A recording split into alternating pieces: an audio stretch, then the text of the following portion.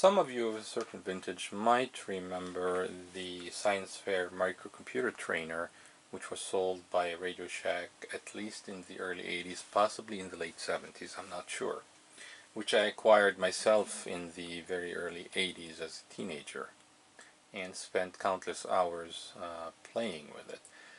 What this trainer did was that it taught you assembly language um, and uh, got you familiar with hexadecimal operations. And it did so using a, a Texas Instruments TMS 1000 microcontroller with 2 kilobytes of ROM and a mere 64 bytes of RAM. Um, yes, this might seem quite low as far as size is concerned, but the ROM also contained a, a, certain number of routines, subroutines, which you could use in your programs and significantly enhanced um, the capabilities of your programs. It was a very simple uh, computer which you built uh, as a kit uh, with point-to-point -point connections. Everything was exposed and it consisted mostly of uh, uh, a uh, matrix, cheap matrix spring-loaded keyboard along with an 8-segment uh, LED for um, data display as well as um, seven individual LEDs which were used primarily um, for address uh, display. It had a speaker um, and was powered by a 9 volt power supply, usually a 9 volt battery. It consumed very little power. Uh, the main issues with this trainer was that, first of all, it did not save anything. So once you shut down the power, your program was gone. Secondly, um, there was no way to input anything into it outside of using uh, the keyboard itself. Um, and lastly, editing programs on the trainer was laborious at best uh, say for example you wanted to insert an instruction somewhere in the program well you had to shift all the following instructions one spot down in order to make uh, room for the new instruction and basically that meant re-entering uh, a good portion of the program manually. Um, furthermore, um, all the assembly instructions had to be translated to their equivalent hexadecimal opcode and entered as such. Um, you could not type in um, an, an, assembly instruction directly into the trainer, and so that was error prone and laborious as well. Nonetheless, it was really a fun computer and a great introduction to computing in general. Uh, so what I wanted to do um, for a number of years was interface this computer, this trainer with another computer so that I could load it with programs uh, which were easily edited on the other computer and uh, that way they were stored and easily uh, usable on the trainer. Um, and what I chose to do here is to use the uh, venerable TI-99 4A computer from Texas Instruments designed in 1979 using the parallel port. And this little interface here um, which uh, basically consists of nine solid state relays and a parallel port connection. Um, and it's a brute force method. What it does is basically emulate key presses uh, through the relays it works just fine. There are more elegant ways of doing this, but the TI is unfortunately not fast enough to be able to do that without um, associated circuitry. Nonetheless, it does work just fine, as we'll demonstrate shortly. So why don't we expand our view a little bit here. Here we are. And so let's reset this. On the TI, um, you can use a text editor. Um, I like to use the Predator text editor. Um, and um, we'll go ahead and load it.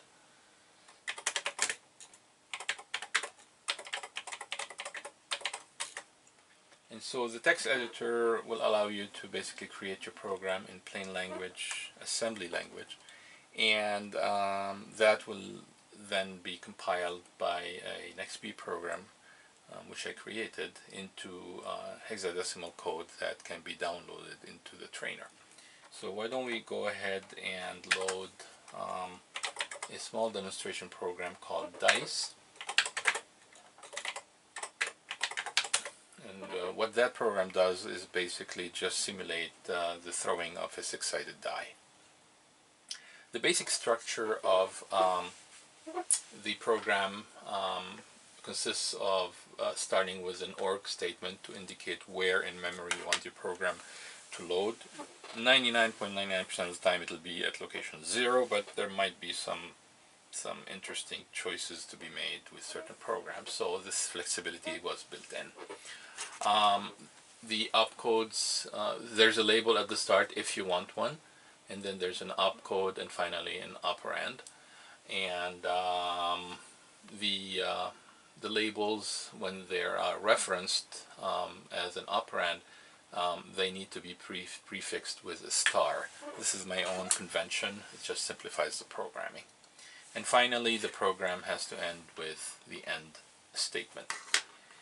So as you can see, this is a lot more readable than um, entering a bunch of hexadecimal codes. Okay, so why don't we exit that, let's reset, and we're going to go into Extended Basic, and we'll load the program, the transfer program which I call Trainer. So we'll run it actually.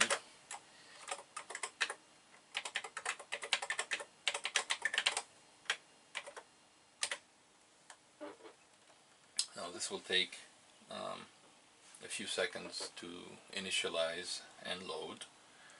Um, patience is a virtue as with anything TI,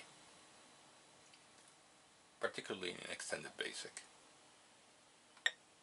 Alright, so there we are. So the program has uh, a few options. The first option is what we call direct input and basically all, all this does is uh, emulate key presses uh, on the trainer using key presses on the TI computer. Basically, if I go into direct mode, if I press the one key, you'll see it gets reflected on the hex LED 2, 3, 4, A, B, C, and so on and so forth. So there are also uh, key combinations for uh, address setting, incrementing the address, running the program and um, what else and resetting the computer. So this is this comes in handy because certain programs require certain startup sequence before they can be run, um, and for general experimentation as well. So we can go ahead and exit direct mode. Um, and then um, the other option, the second option, is to load a program as compared to the third option, which is load data. Uh, the load program option basically takes a text file which I just demonstrated, uh, compiles it into a, into uh, hexadecimal code and then sends it to the trainer. Uh, the load data part um, basically does not have any opcode. It's just a text file with a string of hexadecimal numbers, um, essentially data. Um, and so it's processed a little bit differently, but the end result is the same data is sent to the trainer as well. And you can um, select where in memory you want that data to be dumped. That can come in handy for certain programs where you need some fixed values to be in memory. So why don't we demonstrate the load program first? So here we go, we enter a path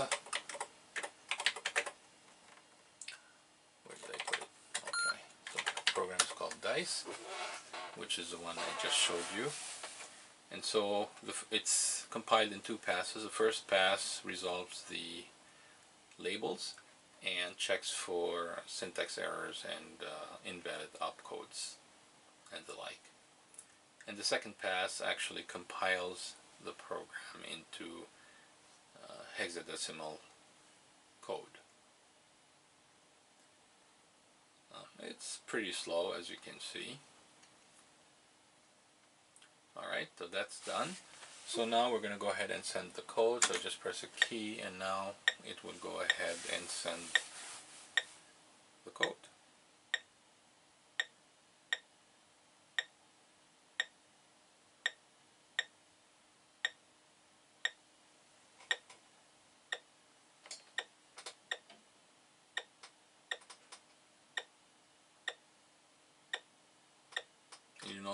Binary LEDs are marching along the uh, memory map starting at zero. Almost there.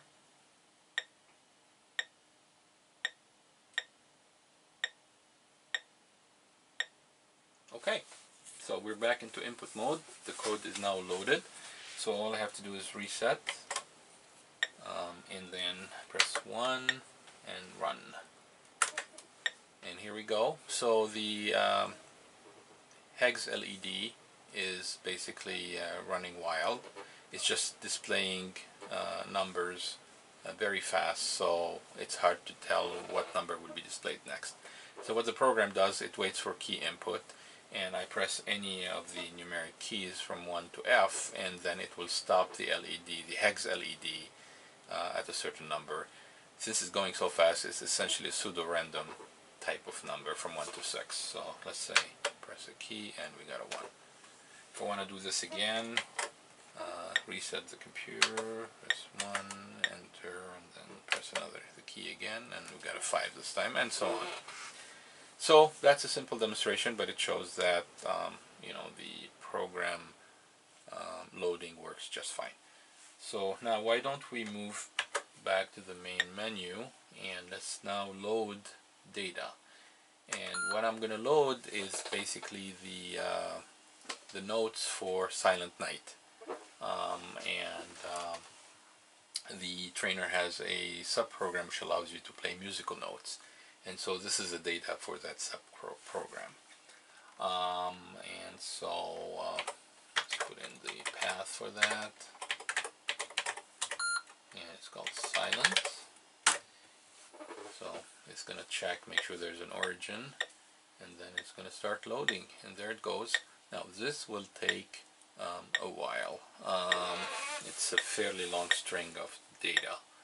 Um, feel free to watch uh, the blinking lights in uh, quiet comfort or meditation, or even easier, just fast forward to where the, uh, the data is loaded.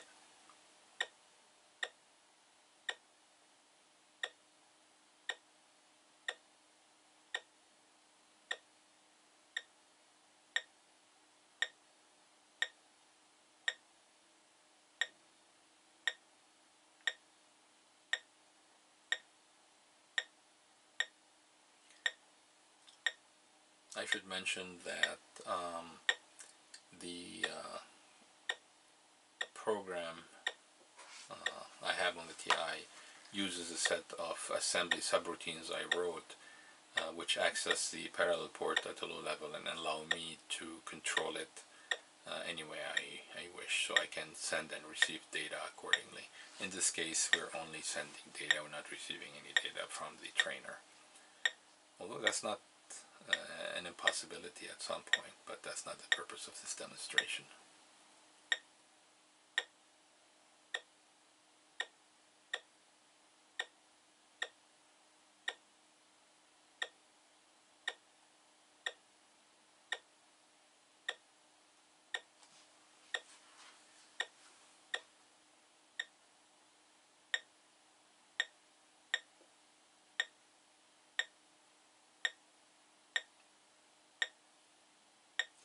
Can get your hands on a uh, on this microcomputer trainer I would strongly encourage that you do so.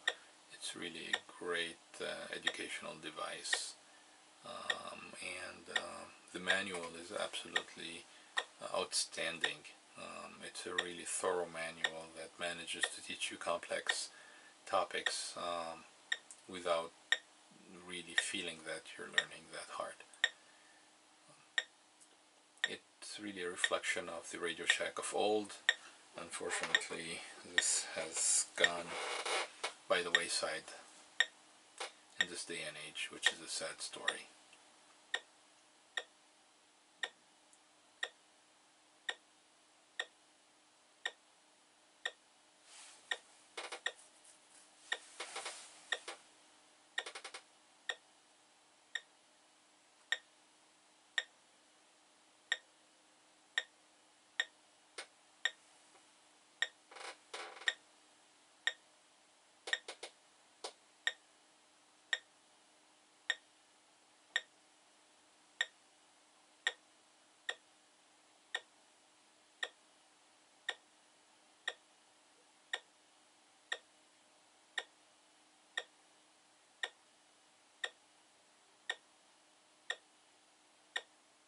Okay, we are done. So we're back in direct input mode. So I'm going to go ahead and reset the trainer. So basically resetting just puts the address, points the address at uh, 00, zero, which is the start of the address space. And then all I have to do is press A and then enter. And here we go.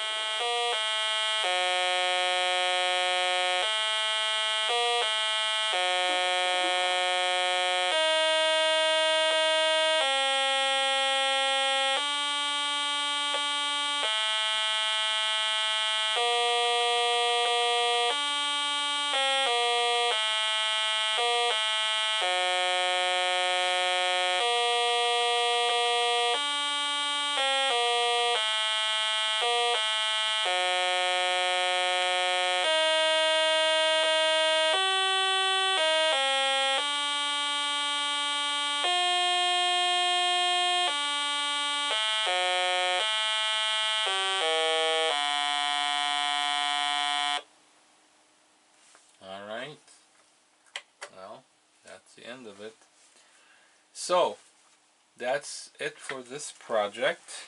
Um, yet another fun one. Um, and I'm pretty pleased by it actually. Um, I'm looking forward to um, reacquainting myself with the trainer and uh, now that I have a facility to easily edit and store programs um, I can really get uh, fancy with it so I'll see what I can come up with. In any case feel free to leave comments uh, or questions in the comment section and thank you for watching.